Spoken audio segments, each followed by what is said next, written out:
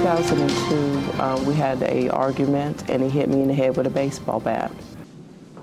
After hundreds of domestic violence murders in our state, some advocates are asking, where do we go from here? At this hour, vigil is underway to honor those victims. And Winston-Salem Police Sergeant Mickey Hutchins, he was shot and, and, and later died after a shootout at the Bojangles on Peters Creek Parkway. The shooter, Monte Evans, was also killed. Now those who deal with the aftermath of this kind of violence are talking about ways to prevent it. Margaret Johnson is live in our newsroom with tonight's big story at 6 o'clock. Well, Wanda, for years there's been a push to teach anti violence as a course right along with reading, science, and math. Tonight, why some are saying now is the time.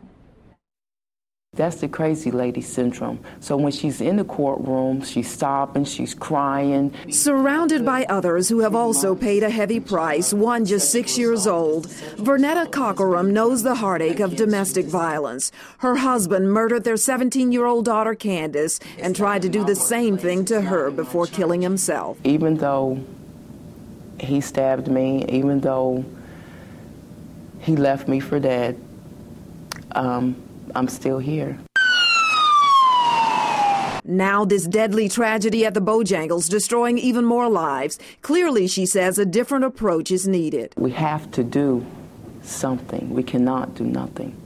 And that's why she's so passionate about taking this issue into the classroom, making it part of the curriculum in every public school district in the state, beginning in middle school when boys and girls are 10 and 11 years old. And the lesson, she says, has to be simple. To know that you cannot pick up a two by four and beat somebody to death with it. To know that you cannot douse another child with gasoline and, and block his way to safety. She says one look at the mind boggling numbers demonstrates what we're up against. Since 2002, domestic violence murders in the Tar Heel State have consistently reached double digits. They now total 604. It needs to be all the way out of the closet. Victim advocate Dewana Hamlin says out of the closet into the classroom will make a difference, but she says the community also has to buy in from all angles, including the lesson parents teach at home.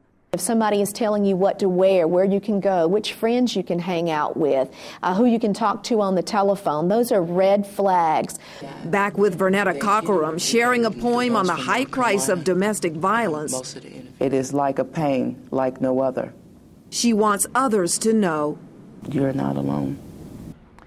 Again, that vigil to honor domestic violence victims in our community is taking place right now at Family Services on Broad Street in Winston-Salem. If you are a victim of domestic violence, here's the number to call for help 24 hours a day 336 723 8125. Back to you.